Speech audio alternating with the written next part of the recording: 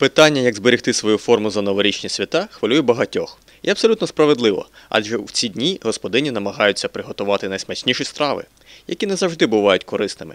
Причина набору ваги в новорічні свята це в основному переїдання, яке трапляється з кількох причин, розповідають спеціалісти. Вероятніше всього, обострення будут. И прежде всего это люди с обострением хронических заболеваний желудочно-кишечного тракта. Это хронические панкреатиты, гастриты, гастроэзофиальные рефлюксные болезни.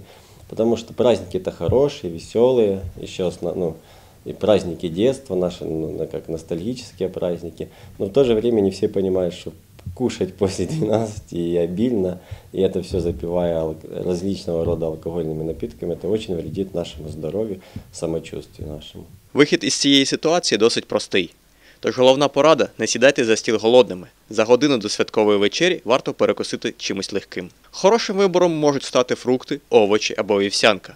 А ще ретельно пережовуйте їжу. Так, на думку лікарів, ви швидко відчуєте ситість та не з'їсте більше норми.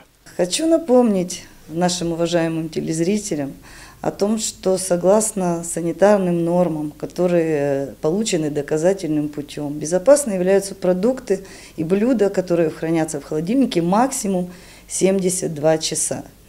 А Поэтому сложные салаты, особенно с заправками, заливные блюда, по сути дела, представляют собой питательную среду для микроорганизмов. По сути дела, на таких же питательных средах выращивают микробы в бактериологических лабораториях.